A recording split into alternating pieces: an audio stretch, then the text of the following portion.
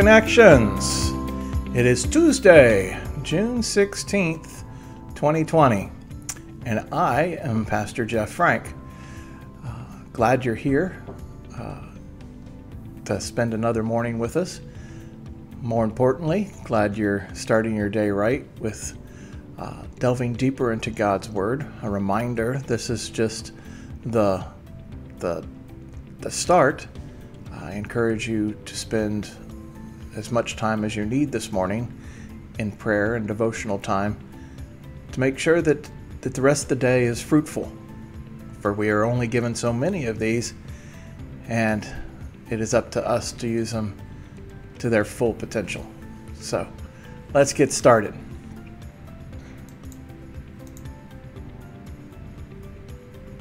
So, had our pastor cohort, I think this is the officially the third but fourth meeting. Um, our good friend Pastor Larry uh, led the teaching, which was a lot of fun, uh, about connecting with people and how to make uh, church attractive. Uh, we've often used the word uh, create, uh, make people sticky so they don't just visit connections, but they they stay and make it their home. A lot of great information, uh, a lot of the things that, that Pastor Larry has learned over the years. He has been serving at Freedom Church now, I believe, close to 25 years, maybe a little bit longer than that.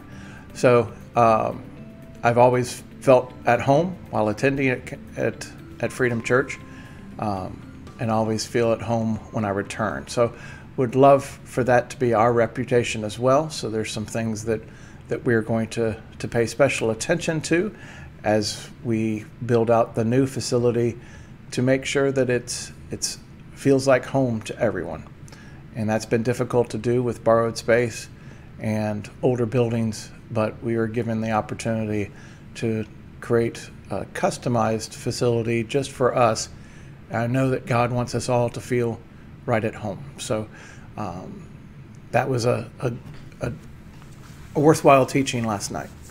Also, we've got a lot of changes. You may have noticed that we changed up the, the intro page to our uh, morning devotional. That's reflecting our new logo. Along with the new logo, I am creating fresh content for the website. And as I create the fresh content for the website, it'll also uh, change the, the look and feel, um, hopefully a little bit more modern. Uh, I know we don't, we kind of stand still and think of the internet as is um, something that never changes, but the styles and and ways that we present information on the internet are forever changing. Dylan did a, a fabulous job of putting the the uh, website that we currently have together but it's probably a couple of years old now and needs needs some fresh freshening up and especially the content. That's the most impo- important thing of a website. And if we just keep re- recycling the same information from years past it sometimes doesn't reflect who we currently are. So that's in works. Also uh, uh in talks with jason duncan about building his uh, evangelist team. And creating a drive-by prayer station at the new facility, 1900 South Monroe, as well. Um, we're trying to imagine what that might look like, but uh, we'll go along with the sharing the scripture on the on the street corner. So I think that ministry has has great potential, as well as as Dave's outreach team um, are putting together hygiene packs, and we are including a little bit of information about each of our our, our leaders and uh, their favorite scripture. So that that'll be cool. So if you get a hygiene pack or even the goodie bags on Sunday, we'll have some of that same uh, information in it. Something to share. As you know, we've been doing the goodie bags for uh, folks that attend on Sunday, and then we also send them home with bags to share with their neighbors.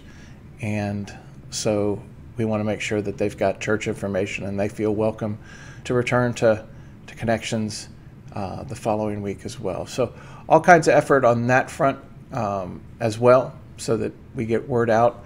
Want to be sharing information as we approach uh, prayerfully the the transition from our chapel to the more downtown location at 1900 South Monroe.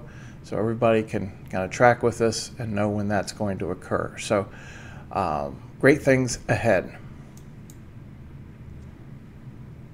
So, jumping back into our devotion, if you recall, we are talking about the five core values or uh, doctrine of Connections Church over the next several weeks. And along with that, as far as our devotion, we are going to move through uh, the Sermon on the Mount, which is found in its entirety starting in, in Matthew 5. So we jumped into that yesterday, and we are going to continue forward today in Matthew 5 13 through 16. You are the salt of the earth. But if the saltiness, you are the salt of the earth, but if the salt loses saltiness, how can it be made salty again? It is no longer good for anything, except to be thrown out and trampled underfoot. Now, this has a lot of, of great meaning, and the, the, the funniest thing is, um, I don't know, three, four months ago, I ordered a t shirt. I enjoy wearing uh, Christian t shirts out into public places, and usually I get quite a few reactions, good, re- good reactions from, from Christians, some curious looks from others. But I have a shirt that simply has a light bulb on it and a salt shaker and nobody gets it. And even uh, you know, people, you know, Christians who are, are curious, and uh, I'll say, yeah, salt and light, salt and light, and um, nobody gets it. So might have to retire that T-shirt because I get too many. I, I, think people think of other uses for salt other than uh, the reference here that Jesus makes. So we think of salt, and the first thing I think of with salt is uh, an old uh, colloquialism that we have of salt of the earth.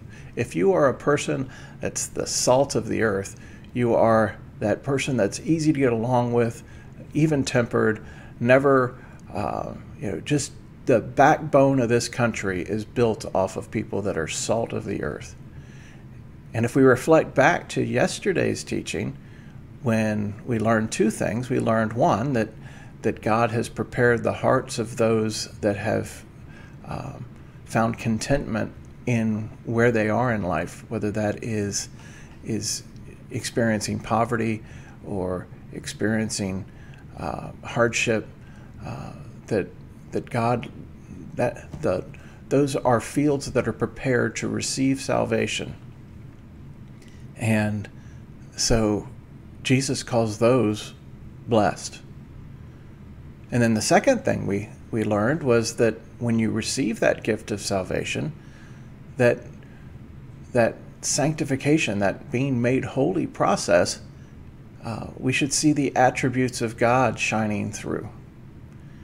And so, you know, blessed are those that are are uh, thought to be perhaps less, you know, when we consider what the world considers blessed, and as they begin their life as a follower of Christ, the attributes that that are godly attributes come to the fore. So the peacemaker, the the merciful, and all of those attributes we talked about uh, yesterday. And that reflects back to the people that we consider the salt of the earth, people that that for no reason at all, because they have very limited income, they they live a very modest life, but they always have a smile on their face. For the, the people that uh, seem to just be level headed and never, you know, uh, never raise their voice and always have a, a word of wisdom to share. They don't, they don't push themselves forward in conversation, but if asked, they have intelligent, thoughtful words. Those are the people that, that Jesus is talking about here. Now, this idea that we have to continue to work at our relationship with God and press in is, is found in this passage as well. That you can have all of these attributes, but if you choose to walk away from your relationship with God and put it on the back burner, that sooner or later you have nothing left to offer because you are not tied into to, to the God's Spirit and you are not tied into those godly attributes and you lose your saltiness. So it's a reminder that we need to continue to strive towards God throughout our entire lifetime. Sanctification is thought to be something that, that occurs immediately as we receive salvation, and then a lifelong pursuit as God hones us into the, the men and women that He desires us to be. Now, another interesting aspect of this salt you know, we, we know that in our day and age, salt is primarily used to, to add flavor. And I like that as far as salt of the earth people, adding flavor, adding, um, you know, adding something, some extra. So hold on to that. And then salt in biblical times would have been used as a preservative. And so we remove the salt from uh, the world, and the world is no longer able to be preserved. So, salt, as far as the church, and perhaps lends itself to this idea that we are not going to suffer the wrath of, of God, but be taken out of this world before uh, judgment, is, you know, perhaps found in this passage as well. That we are the preservative. We are, are what's holding the door open. And when the church is removed, those opportunities end. So we have some work to do and we have some responsibility to preserve this world and give those that have not come into relationship with God, give them an opportunity to do so. Let's continue forward. This part of the passage I'm sure you're more familiar with. You are the light of the world. A town built on a hill cannot be hidden, neither do people light a lamp and put it under a bowl. Instead, they put it on its stand, and it gives light to everyone in the house. In the same way, let your light shine before others, that they may see your good deeds and glorify your Father in heaven. It's not about you praise God, He has He has prepared your heart and brought you to uh, the place where you can receive salvation. Where you uh, now the preparing of the heart can be hardship. The preparing of the heart can be uh, you've tried every path possible and you're at your wits end and you're ready to, to, to give your relationship with God a try. Whatever God has done to prepare you for seeking salvation and asking and receiving the gift of salvation. But that's not the end of the story, that's the beginning of the story. Now, as you gain those godly attributes, it's not to, to be hidden and kept to yourself and and you know we build a bunker and we wait for Jesus' return. That has to be shared with the world and you will hear me reference at least once a week go and be the light in this dark world. And this is the passage that that stems from. We are called to be the light, to reflect God into this world. You complain that, that there's nobody you can trust, that um, the, the world seems to be tearing itself apart. Well, you need to consider that God has sent you to be the light. So before you look to why isn't anybody doing anything, you might want to step in front of the mirror. You are the light of the world. Do not hide it under a bushel, but share it with everyone. Let's pray. Heavenly Father, we thank you, Lord. We thank you, Lord, for the people that have your attributes and are content wherever you have placed them. They are the salt of the earth. They, They bring peace, they bring comfort, they bring wisdom, they bring joy and your presence. We thank you, Lord, that they, they shine brightly for you, that they warm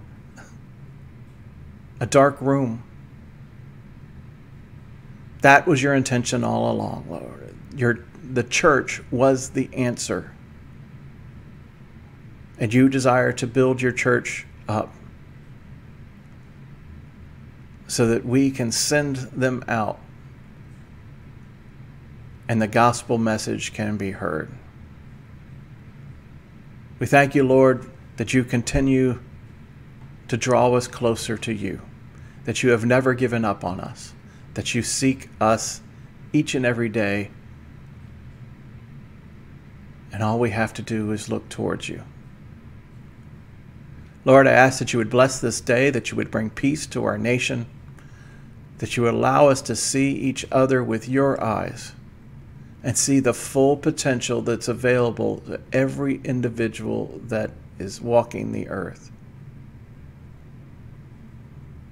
Search our hearts, Lord, and rid us of our prejudice, rid us of, of the the things of our past, Lord, that we have drug into the, the present. Free us, Lord, so that we can be your people. Give us our your wisdom, Lord, so that we can navigate this day and have thoughtful words to share with all of those that you place in our vicinity. We love you, Lord. We can't do it without you. We won't even try. In Jesus' name, amen. Be the light.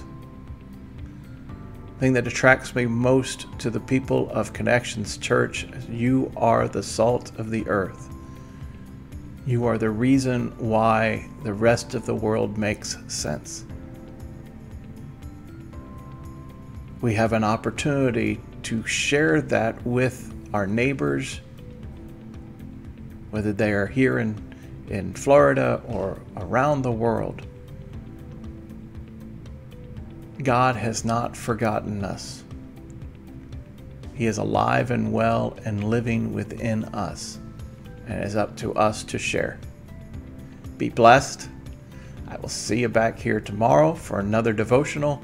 And don't forget, you need to make a reservation for Sunday if you'd like to attend so that we have your seat reserved in the sanctuary and your seat reserved on one of the shuttle buses. And you have till Monday, or I'm sorry, you have till Thursday morning to to make your reservation. After Thursday morning, you will be making a reservation for the following Sunday. All right. Be blessed. Share this message with others. Point them to it in Facebook. Thank you, Polly, for resharing Sunday's message over and over. That was awesome. Uh, need to do more of that so that we get the word out that people can can stay connected with us through Facebook and through YouTube. Have a blessed day. See you tomorrow.